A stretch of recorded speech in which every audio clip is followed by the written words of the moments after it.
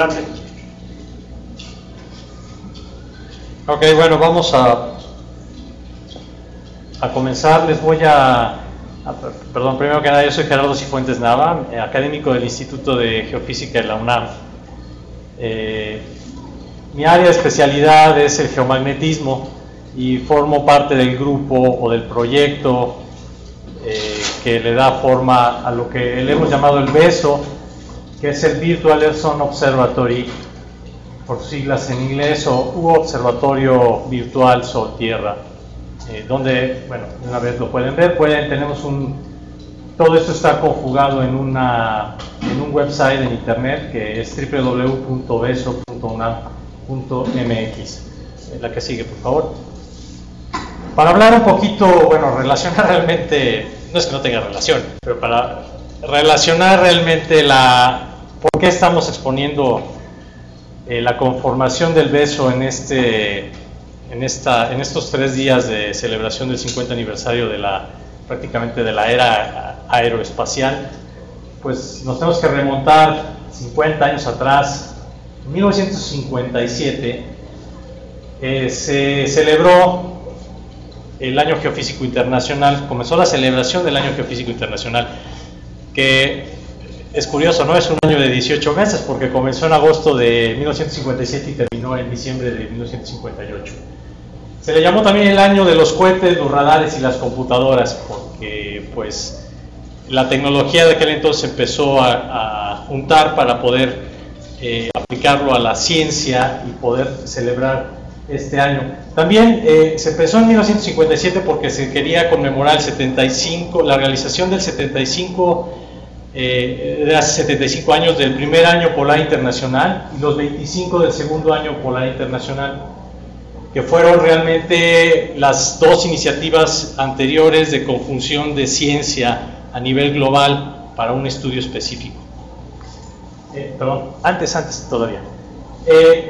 Me gusta mucho esta frase que encontré en un manual de la, más bien en un folleto de la UNESCO de ese entonces, antes de celebrarse precisamente el, el, comienzo, digamos, el comienzo de este año geofísico. Nunca hasta ahora, excepto en casos de guerra, se había movilizado a tantos y tan ilustres sabios para una causa común. Hace unos instantes el doctor Armella habló un poco de eso también, ¿no? O sea, de que de que esta la tecnología que se está aplicando, bueno, pues es derivado definitivamente mucho de pues, situaciones como las guerras, ¿no? Entonces estamos aprovechando mucha esa tecnología actualmente en ese entonces, en plena Guerra Fría en 1957, para fines científicos completamente. La que sigue, por favor. Bueno, el año geofísico internacional tuvo muchos, eh, bueno, el objetivo único, claro, era el estudio de la Tierra, ¿no? Básicamente se planteaban cinco cinco objetivos generales, que era la medición de la Tierra, la observación de los océanos, la observación de los glaciares, la, observación del campo magnético de la Tierra y la, un, eh, un, objetivo muy importante que fue la observación de la Antártica. Aquí podemos ver, eh, bueno, tal vez no sea muy claro, pero el, el, compendio total de los países que estudiaron la Antártica y todo, todo el tipo, digamos, la distribución de los estudios geofísicos en la Antártica. Eh, no puedo leer el numerito de ahí, pero recuerdo que creo que son algo así como ciento y tantos. 127. 127, gracias. Estudios que se hicieron solamente a lo largo de esos 18 meses en la Antártica. En agosto de 57 comenzaron trabajando 46 países en esta iniciativa y a finales de bueno, cuando cerró el año geofísico en diciembre de 58, ya se eran 67 países, donde se calcula que participaron a nivel científico, tanto técnico como de investigación, 44 mil personas en 1957. Hay que mencionar, no lo puse aquí en ninguna parte del texto, que esta coordinación llevó aproximadamente 7 años. O sea, desde 1950 empezaron a trabajar en el año geofísico internacional para poderlo echar a andar en agosto de 1957.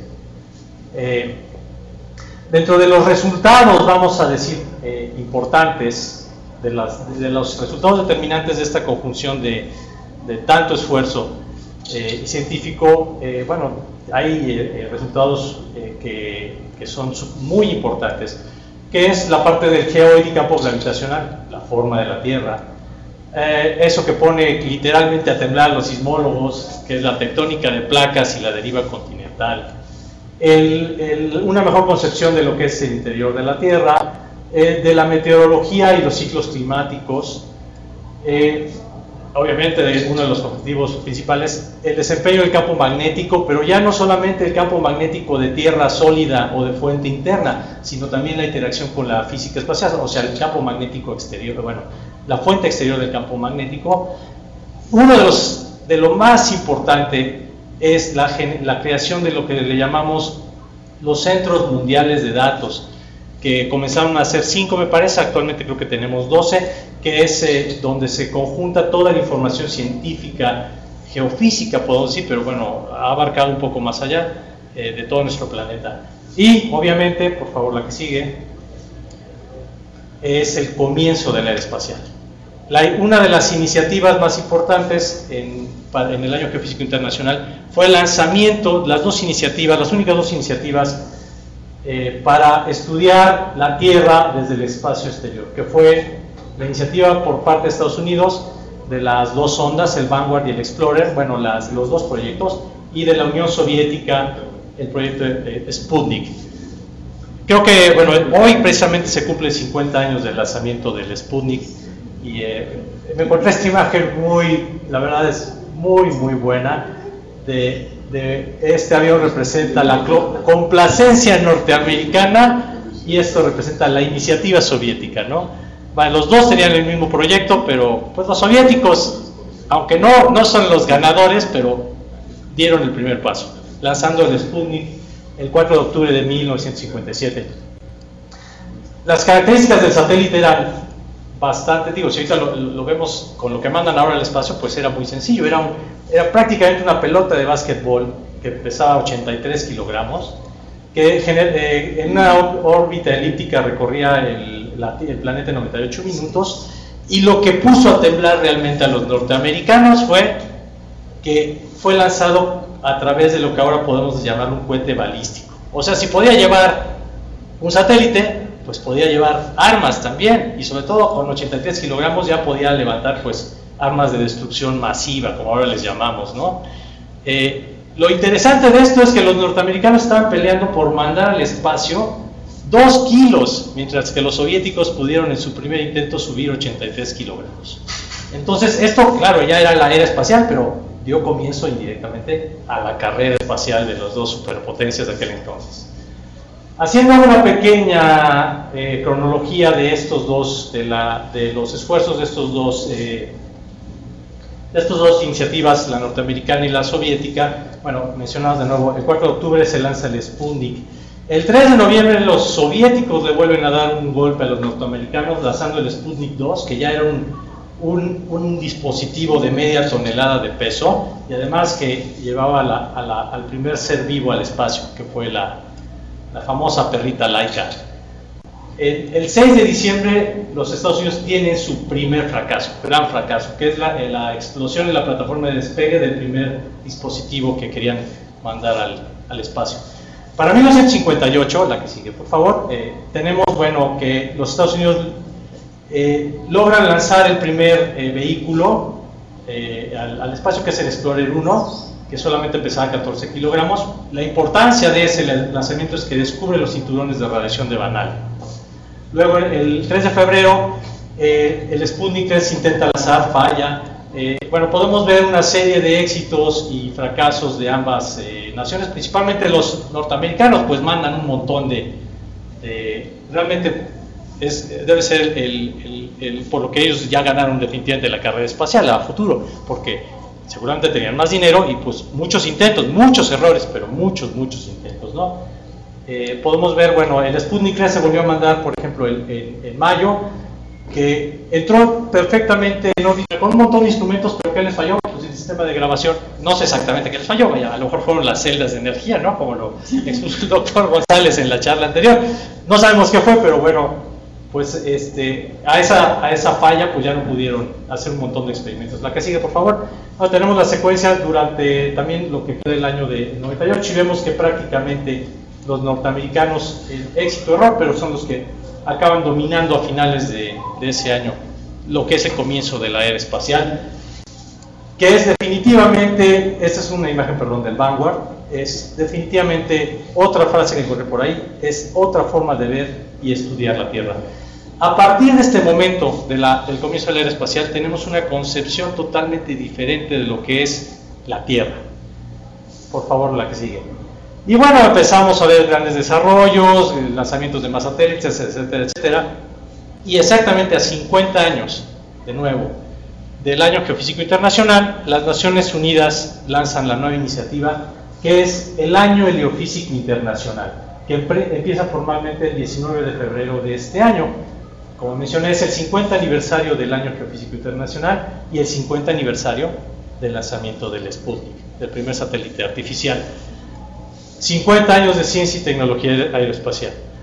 Esto es una imagen, eh, probablemente no se comprenda muy bien, pero es la imagen de lo que es el sistema heliosférico. Esto es la heliosfera, o sea, comprende todo el dominio del Sol y su interacción, obviamente, con la, lo demás, la demás parte del universo. Por favor, la que sigue. Los objetivos del año heliofísico internacional los tenemos aquí, pero básicamente es, otra vez, el estudio de la heliosfera en su conjunto y la comprensión de todos los fenómenos que involucran a la, heliosfera. Preservar, bueno, eh, es lo que dicen los primeros eh, cuatro puntos prácticamente. Preservar la historia y el legado del Año Geofísico Internacional, celebrando su 50 aniversario.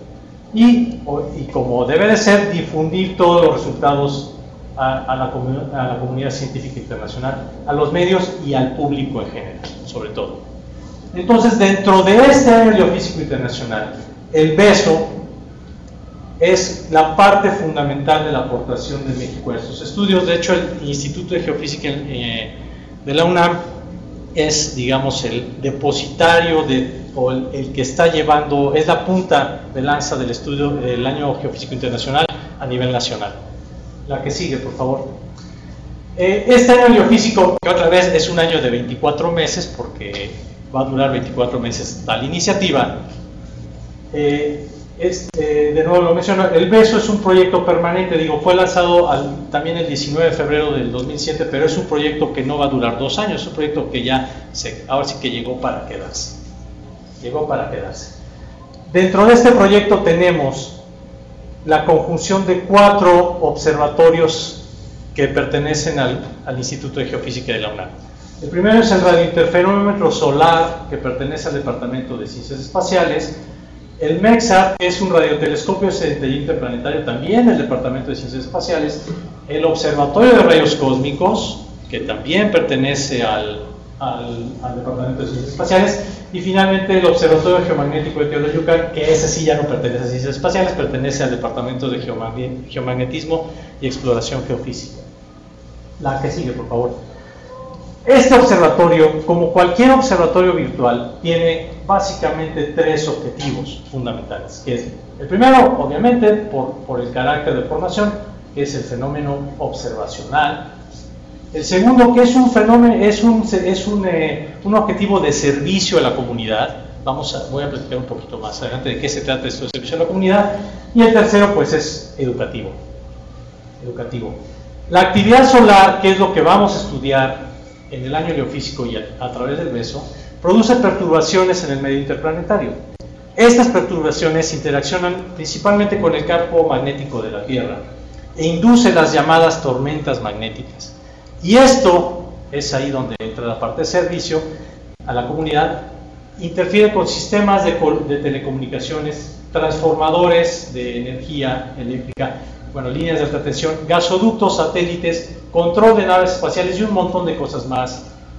Puede, todos estos sistemas pueden ser afectados. Para que, entendamos un poquito, bueno, y ahí, perdón, antes eh, viene la, la, el acuñamiento de un término muy famoso, tal vez el último decenio, que es el clima espacial. El clima espacial, esta es una, pues una cosa, una imagen muy bonita de qué es lo que está midiendo cada uno de los cuatro observatorios del Instituto de Geofísica. El radiointerferómetro solar mide directamente la radiación que emite el Sol El radiotelescopio de, de centelleo interplanetario mide fuentes de radio en todo el espacio interplanetario, entonces lo que nos interesa es las fuentes de radio entre el Sol y la Tierra. El observatorio de rayos cósmicos va a medir el tránsito, bueno, más bien la absorción de los rayos cósmicos debido al campo magnético del Sol, o sea, a la actividad solar. Y finalmente, el Observatorio Magnético de Teológico va a medir directamente el campo magnético de la Tierra en superficie. La que sigue, por favor. Una descripción un poco más técnica de los, eh, podemos apreciarlo acá de, cada uno de los instrumentos.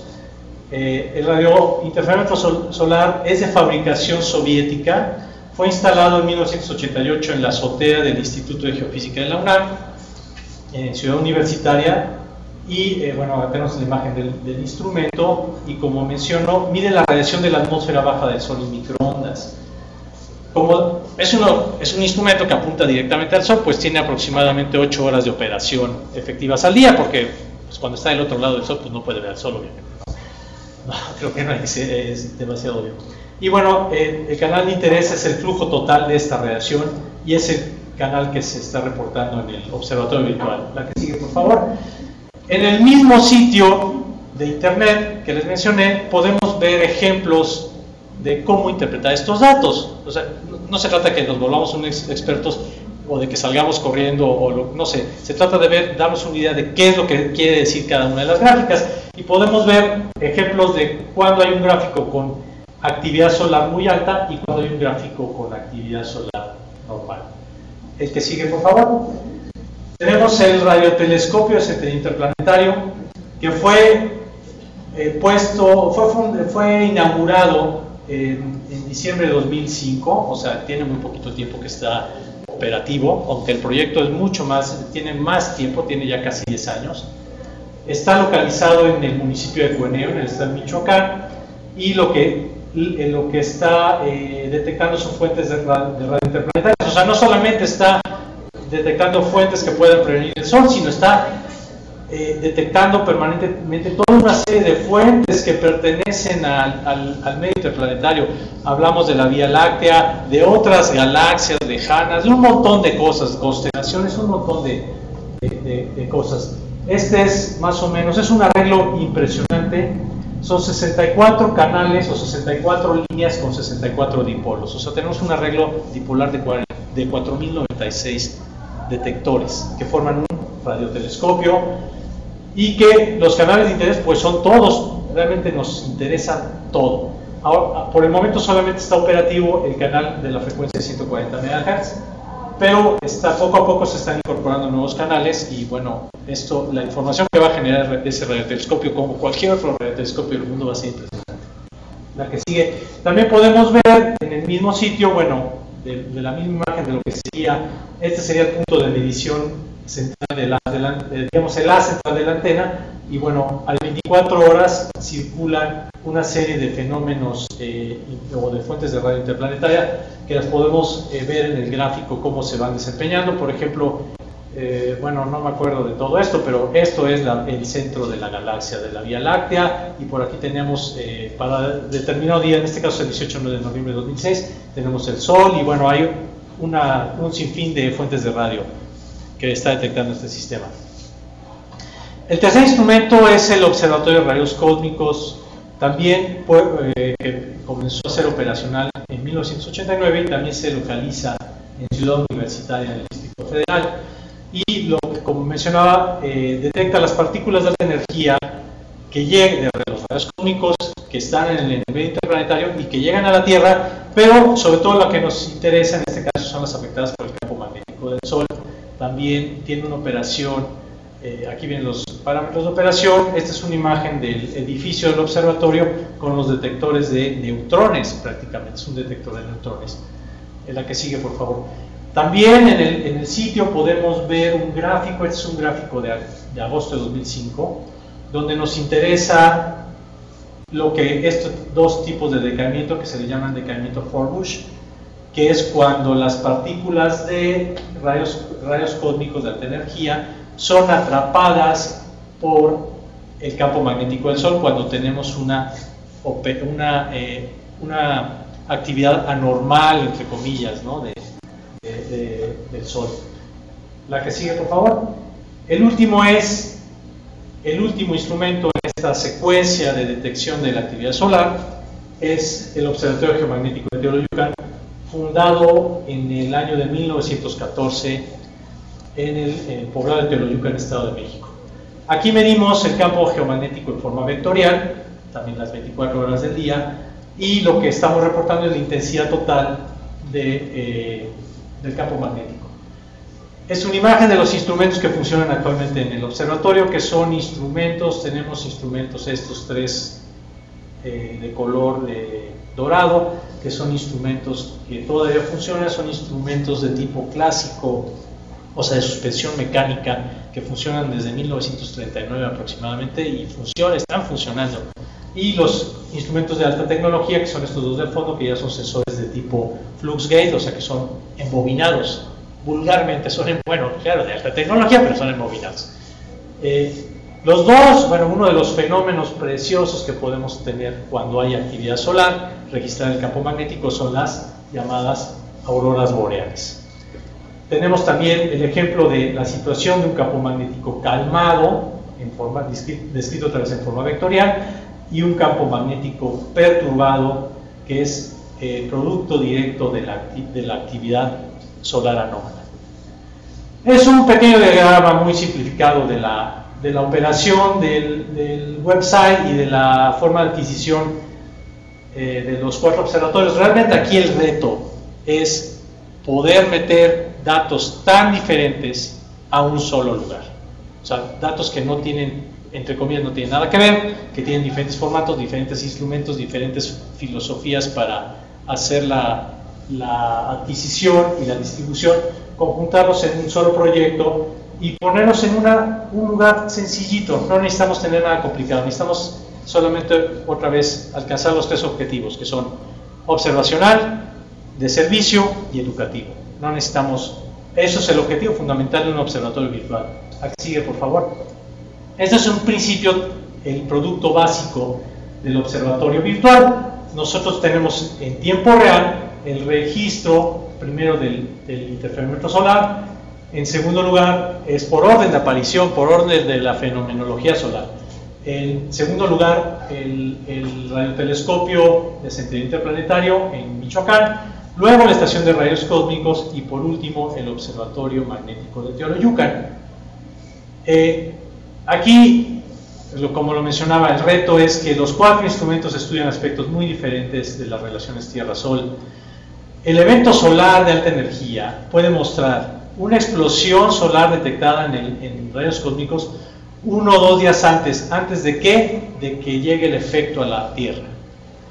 Una eyección de masa detectada en la corona, eh, que, se, puede, que es una fuente de radio interplanetaria al fin y al cabo, que lo detectaría, eh, lo detectaría el, radio, el radiotelescopio interplanetario, también uno o dos días antes el decaimiento Forbus detectado por rayos cósmicos casi cuando ya va a llegar a la Tierra la, digamos, la eyección de masa o la tormenta solar y finalmente una tormenta geomagnética medida por el Observatorio de Teoloyucan. Lo que hay que comprender es qué pasa con otros eventos. Bueno, lo, que intentamos ver es qué pasa con otros eventos porque las, las tormentas solares no son los únicos eventos que vienen del Sol o de la, del medio interplanetario. Y en este caso, ya hablando específicamente de la parte aeroespacial, ¿no? ¿Cómo podemos correlacionar todos estos datos tan diferentes, sobre todo por el desfase que pueda haber o por la diferente representación que tenemos? ¿Y cómo podemos buscar ya en la parte de un observatorio eh, virtual, cómo podemos buscar por eventos? O sea, ¿qué es lo que nos interesa para, para ya que sea al 100% operativo un observatorio virtual?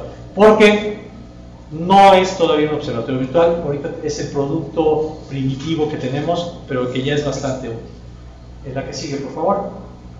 El trabajo por delante que tenemos en este observatorio virtual es una sincronización perfecta de los datos porque deben entender que sacar los datos de demasiado volumen de lugares tan diferentes y tan lejanos, digo, a pesar del Internet, no es una tarea fácil.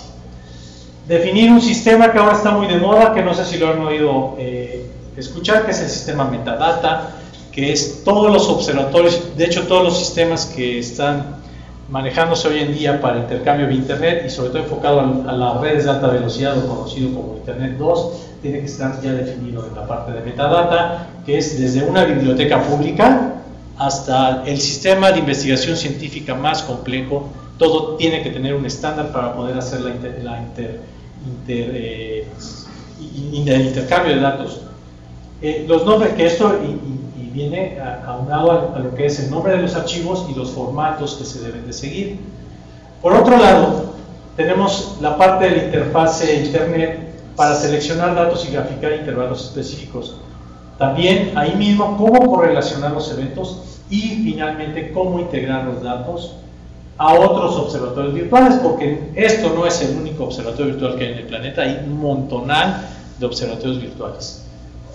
Un montonal. Y finalmente, que es otro trabajo muy, muy pesado, es integrar otras estaciones que detectan eh, eh, fenómenos similares o los mismos fenómenos que acabo de presentar, pero que están localizados, por ejemplo, uno en, el, Sierra Negra en Puebla, donde está el gran telescopio milimétrico, que es un detector de rayos cósmicos, en Cuernavaca, Michoacán, ahí donde está el, radiotelescopio interplanetario, también hay una estación magnética que está a punto de integrarse.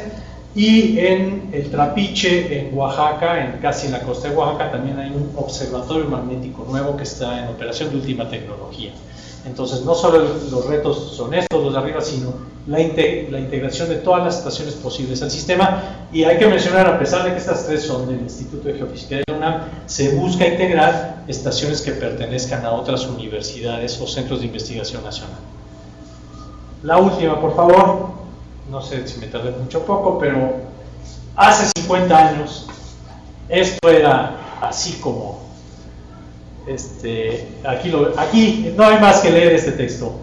El, el magnetismo, el misterio supremo de la ciencia. Hace 50 años. Y hoy seguimos igual.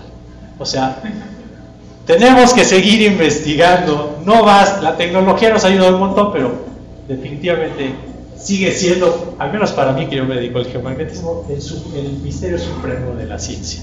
Y por otro lado, bueno, aquí tenemos una imagen de, mecánica popular de hace 50 años, también que trataba exactamente el mecánica popular, ¿no? Esa, el, el, misterio, digamos, del, universo a través del conocimiento de los rayos cósmicos, como lo Bueno, pues muchas gracias, eso es todo.